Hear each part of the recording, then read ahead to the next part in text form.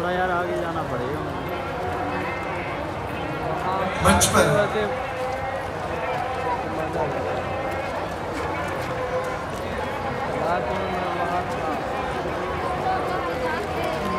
यार कार्ड ले लिया वरना आगे निकल निकल जाता मैं क्या वी आई पी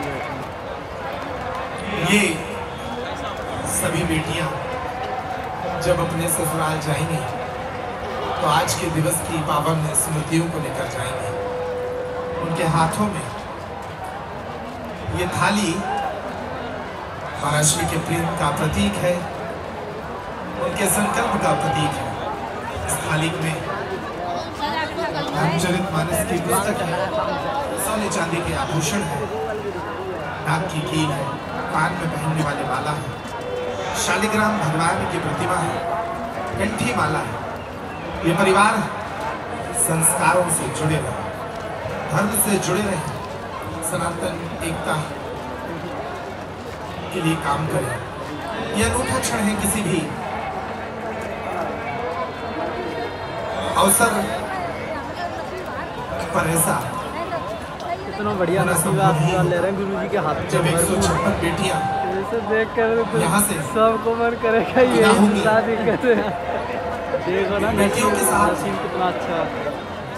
विदा करते हुए उन्हें राजकुमारी की तरह वैभवशाली गृहस्थी भेंट कर घर भेजा जाएगा। अनेक बेटियाँ हैं जिनके माता पिता नहीं है कई बेटियाँ हैं जिनकी माँ नहीं है कई बेटियाँ लेना कुछ बेटियाँ तो ऐसी हैं कि जो खुद मजदूरी कर रही थी और अपने छोटे भाई बहनों को पाल रही थी। ऐसी सभी बेटियाँ आज क्या सौभाग्य का क्षण जी रही हैं कि उनके विवाह में देश की अनेक जानी मानी हस्तियाँ पहुँची उन्हें आशीर्वाद देने के लिए। कुछ महाराज श्री स्वयं अपने हाथों से बेटियों को गृहस्थी के उपहार का एक प्रतीक स्वरूप वो थाली भेंट कर रहे हैं। जमाई राजा भेंट करते हुए रोने लगे महाराज जी। कई बेटियों की आँखों में आँसू।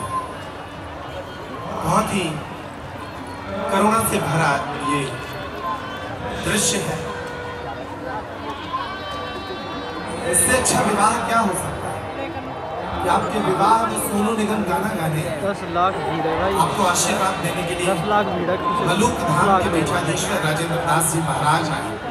गोरेलाल के महाराज जी आए।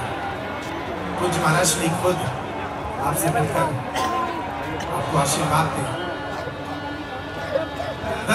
से ज़्यादा लोग आपके इस विवाह उत्सव में सम्मिलित हों। दस लाख में याद आए लोग। क्या सौभाग्य का समारोह हर वर्ष शिवरात्रि के दिन ये सौभाग्य का क्षण आता है। देश भर से श्रद्धालु इन बेटियों को विदा करने के लिए आते हैं। देश के बाहर से एनआरआई पहुँचते हैं। इस बार तो 150 से ज़्यादा एनआरआई शिष्य मंडल यहाँ पहुँचा है जो पिछले सात दिनों से यहाँ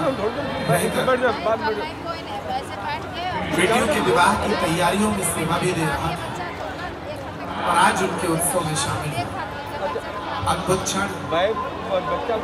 यह अवसर बेटियों की मंगल कामनाओं का है। अच्छा हम नीचे रख रहे हैं एक मंगल गीत का है। इसे अपने पास लगा लो इसे। क्या तुम तुम मेरे जाओ।